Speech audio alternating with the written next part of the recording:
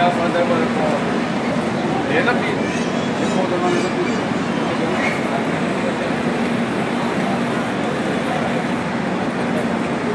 है मालवा देखो कितनी भरी है